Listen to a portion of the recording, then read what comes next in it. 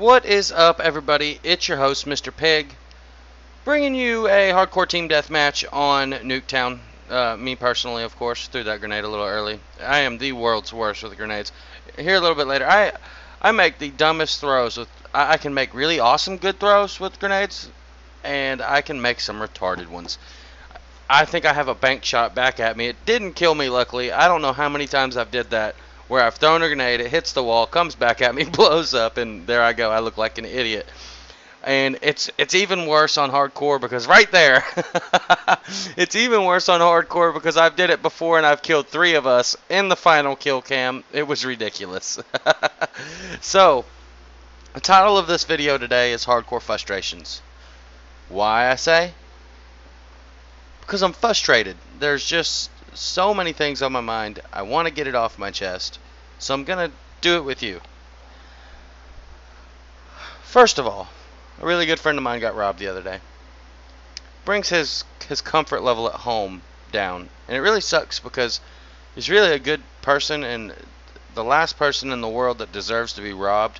In fact, the person that probably robbed him, if he would have came to him, knocked on his door and said, "I'm hungry," I think he would have probably invited him in and gave him some barbecue chicken because that's probably what he was having for dinner is barbecue chicken.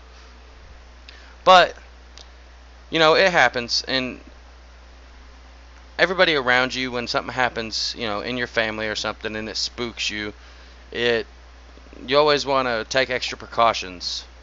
And you want to do it quick before you forget. Take precautions before things happen, almost like national security. We didn't have all this pat downs at the airport and getting half naked at the airport because they're afraid you're gonna have a bomb.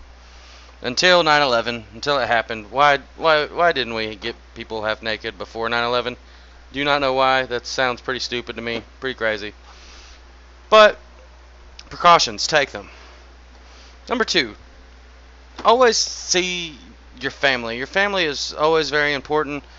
You know, some people have odd situations. I've I've got a really odd but familiar to a lot of people situations. You know, my dad lives you know a thousand miles away from me. So does my grandparents, and it really sucks not being able to just go see your dad sometimes and say hi, or stop by his house and grab a beer, or you know, just be able to have him when you need him.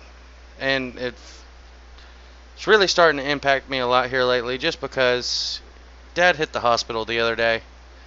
Man, what happens if something happens to your parents and you live a thousand miles away and you don't have all the money in the world to just buy a ticket and go? I don't, you know, it's very confusing. So I'm just in the middle of figuring some of that stuff out.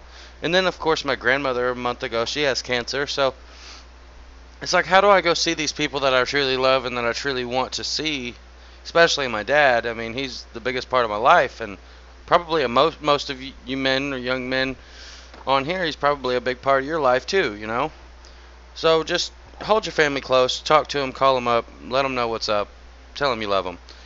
Um, hardcore frustrations. This is another that right there. Did you see that?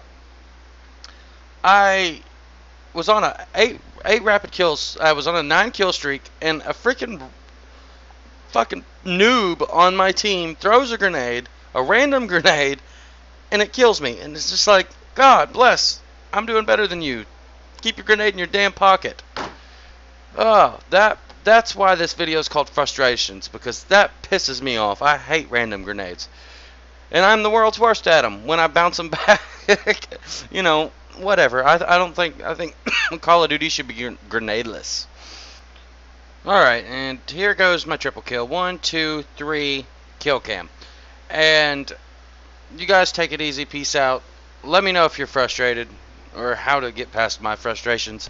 And I will talk to you guys tomorrow.